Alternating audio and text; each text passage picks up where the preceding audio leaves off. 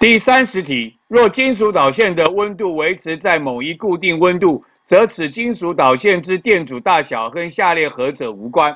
我们晓得金属导线的电阻会跟它的材质有关，银是导电性最好的金属，铜是第二位，所以 A 选项材质有关。我们也学过，我们的电阻跟它的截面积有关，跟它的长度有关，所以 C 说截面积，Z 说长短，这都是有关的。可是跟它的电压没有关系。欧姆定律是说，我们在电阻一样的情况之下，电压跟电流会成正比。金属导体是欧姆电阻的导体，它基本上在同样的情况之下，它的电阻是一个定值，跟电压大小无关。所以呢，我们第三十题问我们说，折尺金属导线是电阻大小跟下列何者无关？我们答案选的是 B，导线所接的电压。